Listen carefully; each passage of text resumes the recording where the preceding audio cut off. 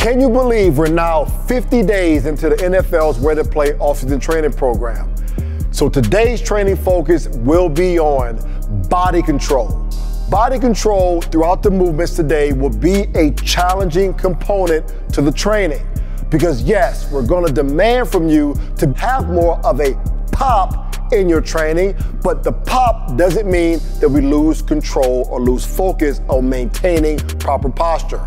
As it relates to our game, yeah, you want to be aggressive and play with a lot of intent, but you have to do so under control. So let's be under control in today's training and get ready to play some football.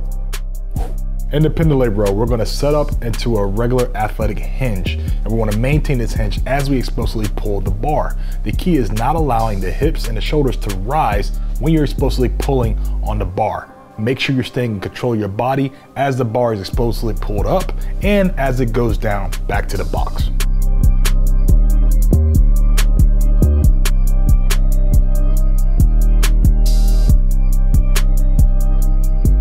In the bench press, as always, we always want to get on the bench in a nice five point contact position with our feet, our butt, our back, and our head.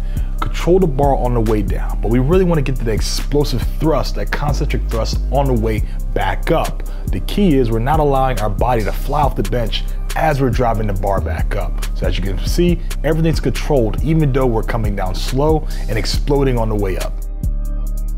Similar to the bench press, here what we're doing is we're doing a bench press on the ground. And the key is when we're absorbing the ball, we don't want to allow our elbows to hit the ground. We want to stop it right before it hits the ground, explode it right back up. But the key is to control your arm movement. If you don't control your arm movement, the med ball could possibly hit the partner or go in front of you and hit yourself. Control the movement on the way down and up, but remember, the explosion is controlled.